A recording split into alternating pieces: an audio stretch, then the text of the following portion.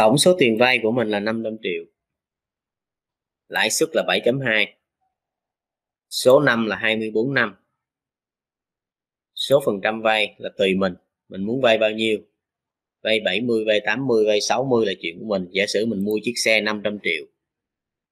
Bây giờ tôi trả góp 70 phần trăm. Còn bao nhiêu phần trăm là là là là, là số tiền cần phải trả? Thì ở đây là nó bằng tổng số tiền trừ cho số tiền phải mình đi vay, thì có phải là đây là số tiền mình phải trả trước không? Phải không? Như vậy, giả sử mình vay 80 phần trăm, thì mình phải trả trước trăm trăm triệu. Còn lại là mình vay 400 triệu. Vậy số tiền cần vay 400 triệu. Như vậy hai cái này mình tính được chưa? Được không? Alo được không? Dạ được thầy. Được. Rồi bây giờ mình sẽ tính. Người ta sẽ hỏi nè. Hiển thị số tiền phải trả hàng tháng nha. Trả hàng tháng chứ không phải trả hàng năm. Vậy thì khi mà trả hàng tháng lãi suất này là lãi suất năm hay là lãi suất tháng? 7,2 này là năm hay tháng về lãi suất tháng của nó là 7.2 chia cho 12 đây là lãi suất tháng nè. Đó là lãi suất tháng. Mình vay 400 triệu trong vòng 24 năm. 24 năm là bao nhiêu tháng? Nhân 12 là mình có được số tháng nè. Vậy 400 triệu này mình trả trong 200 288 tháng. Vậy mình có số tiền. Gốc trả hàng tháng. Số tiền gốc trả hàng tháng. Thì nó sẽ bằng 400 triệu chia cho cái này. Đây là số tiền gốc mình phải trả hàng tháng. Được không? Số tiền gốc mình trả hàng tháng. Bây giờ bắt đầu trừ nha. Mình có đến 288 tháng luôn đó. Bắt đầu nè. Tháng 1 tháng thứ nhất. Và tháng thứ 288 mình sẽ lặp lại cho đến 288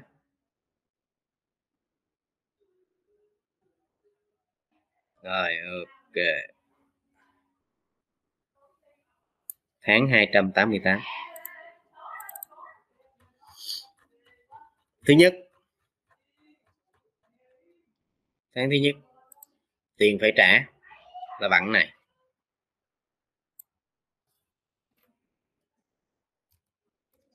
Tiền phải trả. Này là tiền phải trả nè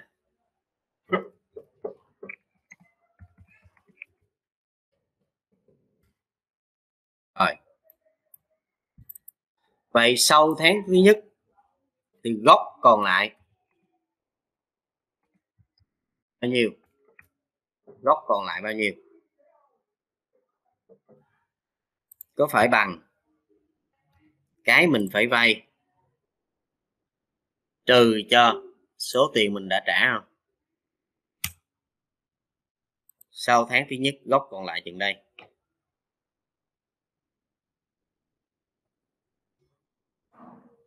Sau tháng thứ nhất gốc chừng đây. Lãi phải trả.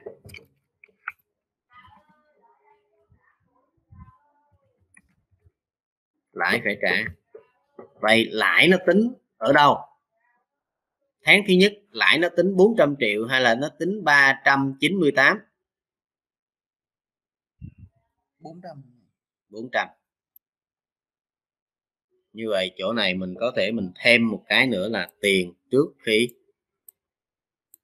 này, tiền gốc ban đầu.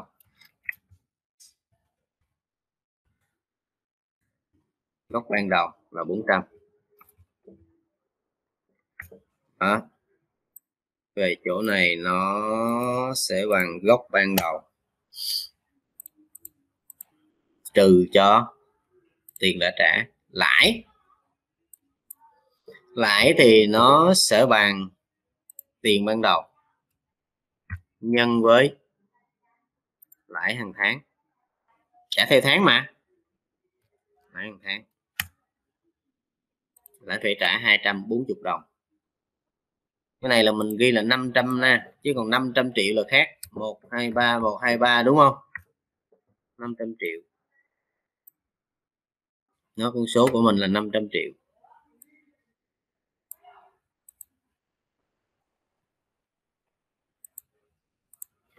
Một, hai, ba, một, hai, ba.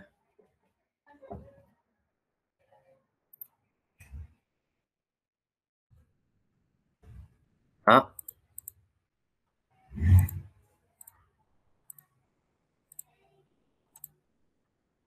Hai trăm bốn mươi ngàn.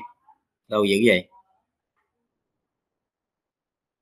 bảy phết hai phần trăm. Mình làm quá lố rồi. bảy phết hai phần trăm. Ngay đó ra 2 triệu tư đúng rồi thầy. bảy phẩy hai phần trăm ok. Đó bảy phẩy hai phần trăm.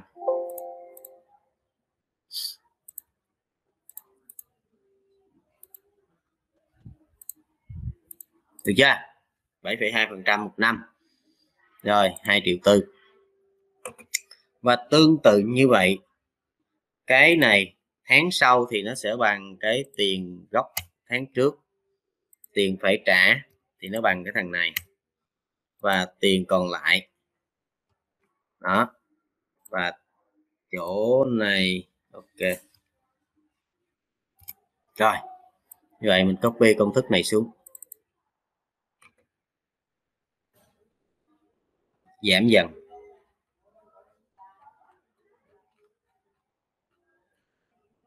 Đây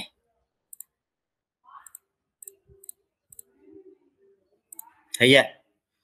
Đến đây là tiền gốc hết nè. 288 tháng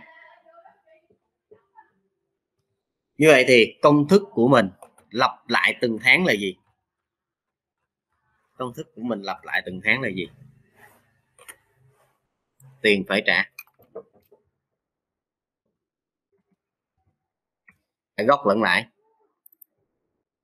bằng. Tiền phải trả gốc, tiền gốc phải trả. Bằng. Tiền gốc phải trả, cộng với tiền lãi phải trả. Đó, mỗi tháng nó giảm dần. Trả hai, bốn, năm. Trả đến cuối cùng, triệu ba. Chín mươi bảy ngày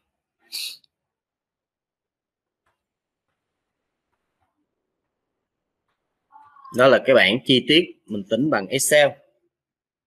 Như vậy khi mà mình đưa qua cái hàm của ờ, uh, tinh học thì mình sẽ biến nó thành công thức. Thứ nhất là mình tính số tiền phải trả ban đầu công thức của nó là bằng số tiền vay trừ số tiền vay nhân lãi suất. Số tiền cần vay. Là bằng số tiền cần vay nhân cho số phần trăm mình vay. Được chưa? Rồi.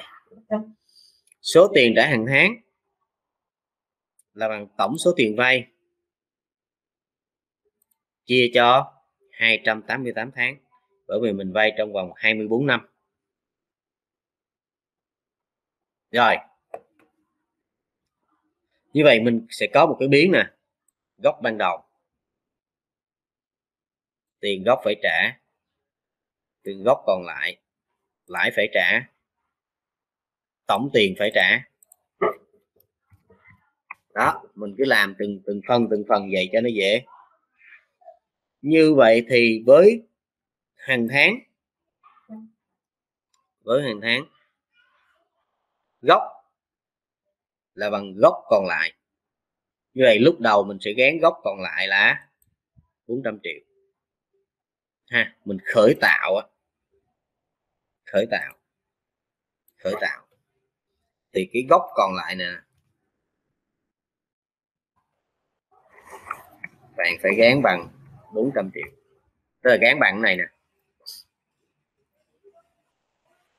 Rồi sau đó gốc ban đầu, thứ y là bằng gốc còn lại trước đó. Hoặc là gốc ban đầu thứ y là bạn gán bạn này luôn cũng được. Gốc ban đầu thứ y là bằng gốc còn lại trước đó. Còn tiền gốc phải trả này là nó bằng này rồi nè. Gốc còn lại là bằng gốc, tiền gốc ban đầu, trừ cho tiền gốc phải trả nó ra gốc còn lại. Tiền lãi tiền lãi thì bằng gốc ban đầu nhân với lại phần trăm lãi hàng tháng. Tiền tổng phải trả. Như vậy nó lặp đi lặp lại công thức này. Lặp đi lặp lại công thức này. Ở tất cả các dòng sau 288 dòng sau đều lặp đi lặp lại. Gốc ban đầu bằng gốc trước đó. Ha. Gốc ban đầu bằng gốc trước đó gốc sau là bằng gốc ban đầu trừ cho phải trả. Rồi xong rồi đó.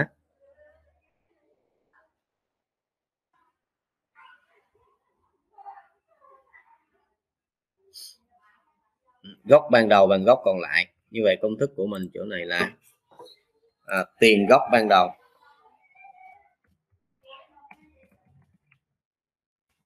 Bằng tiền gốc còn lại. Tại vì gốc còn lại lúc nãy là mình gán 400 rồi nè. Ha. Rồi uh, gốc còn lại. Sẽ bằng gốc ban đầu.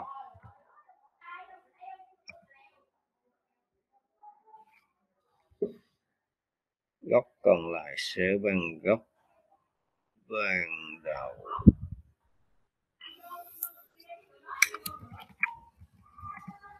Trừ cho tiền gốc trả hàng tháng.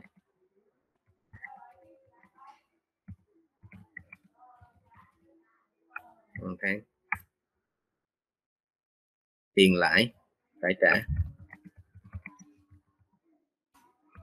Bằng gốc ban đầu. Nhân cho lãi tháng.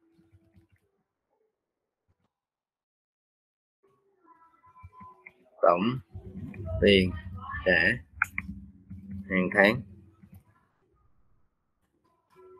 Bằng tiền gốc phải trả. Cộng tiền lãi.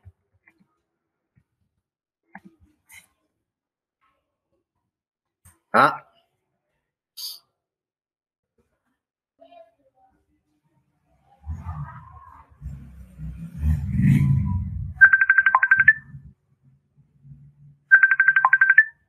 Ai gọi ai gọi.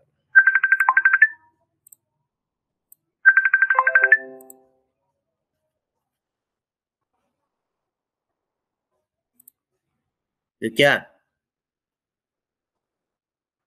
Đó phải sale của mình như thế. Dạ thầy cho em sai phải sale luôn thầy. Ừ ok. Phải sale cái này là yêu cầu 7 yêu cầu 7 assignment. Form 108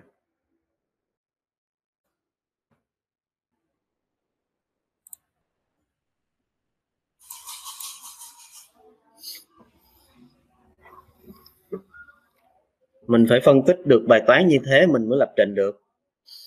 Chứ mình chưa hiểu rồi mình lập trình nó không ra kể cả là bài toán, bây giờ người ta hỏi là với số tiền 500 triệu vay trong vòng 12 năm thì trả một tháng là bao nhiêu tiền? Đó. rồi trong vòng 15 năm thì trả một tháng bao nhiêu tiền? Ví dụ thế. Thì nó có những cái cách để mình đưa ra những bài toán, những yêu cầu khác nhau.